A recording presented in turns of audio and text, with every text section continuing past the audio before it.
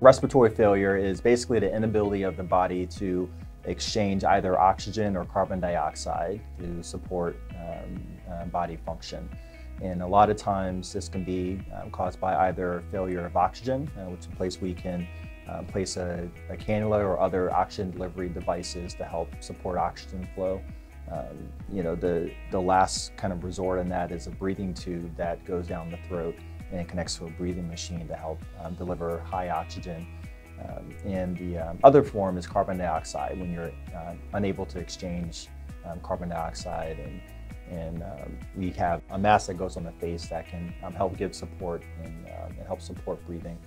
Um, and then another common cause of respiratory failure is um, other parts of the body not working properly. So for instance, the brain or uh, patients who have strokes or other conditions where their mental status um, or their ability to converse and, and, and, be awake is affected. And we worry about the inability to protect the airway, uh, meaning um, if you're confused or unconscious to the point where you're not able to reliably breathe,